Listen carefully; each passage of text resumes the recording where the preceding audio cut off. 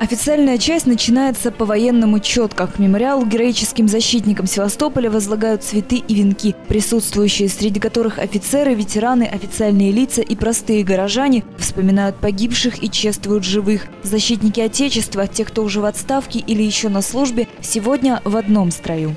Праздник объединяет военных вообще разных поколений. От вот вчерашних матросов до уже седых, седых ветеранов. Да? И если говорить о Севастополе, то уникальность еще этого праздника и в том, что он объединяет военнослужащих двух, по сути дела, разных государств. Генерал-майору в отставке Анатолию Пономареву за годы службы вставать на защиту Родины приходилось не раз. И День Советской армии и военно-морского флота для него, как и для каждого служивого, в календаре был главным. Всенародный праздник, он не кем-то придуман, он не кем-то навязан, он не кем-то внедряется – он родился на полях сражения. Благодаря массовому героизму, благодаря патриотизму, преданности Родине и верности своей военной присяге.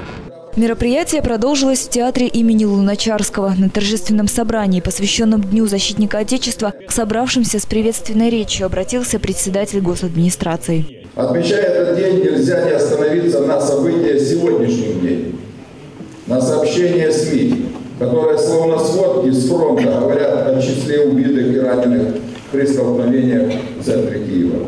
Главное сейчас не громкие заявления, а обеспечение безопасности жителя города-героя. В честь праздника военнослужащим двух флотов и ветеранам за особые заслуги перед Отечеством вручили нагрудные знаки и грамоты, а семьям военных моряков от командования ВМС Украины выдали ордера на квартиры. Александр Толкачева, Виктор Кислицын, программа «Наше время».